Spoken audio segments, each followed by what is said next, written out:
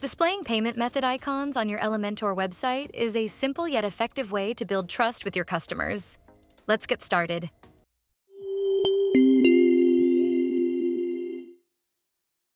Before getting started, make sure you have the Unlimited Elements free version installed and activated on your WordPress website.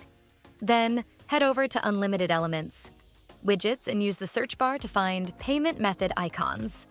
Hover over it and click Install to add the widget to your site. Next, go to the page you want to edit and drag and drop the Payment Method Icons widget from the Widgets pane onto your Elementor canvas.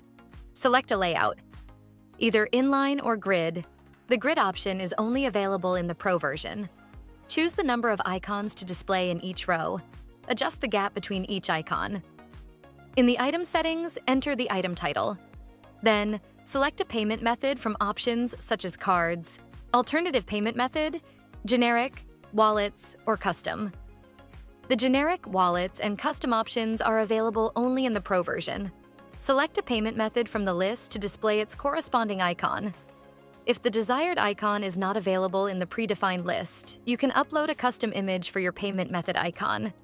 Now, I'll quickly add all the icons I want to display. Once you've added the content, you can start configuring the widget style settings to match your design needs. Adjust the item height, border radius, payment method's icon size, border width, and more to ensure the payment method icons widget seamlessly integrates with your website's design. To wrap up the video, don't forget to subscribe to our YouTube channel for more awesome tutorials.